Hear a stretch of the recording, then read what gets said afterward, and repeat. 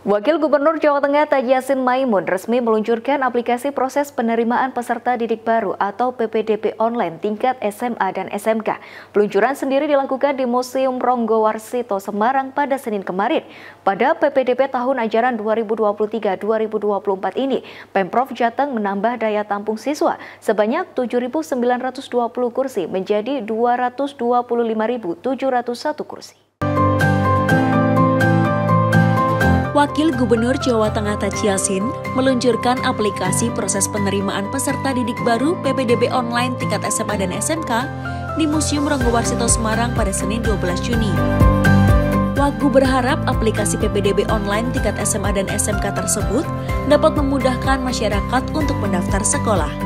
Nah ini dengan adanya aplikasi, saya berharap masyarakat terjawab dengan kemudahan yang kita berikan uh, untuk penerimaan siswa-siswi di tingkat menengah ke atas. Melonsing PPDB yang saat ini sudah memakai aplikasi, saya berharap ini uh, lebih membuka transparansi keluhan-keluhan dari masyarakat terkait pendaftaran di sekolah menengah.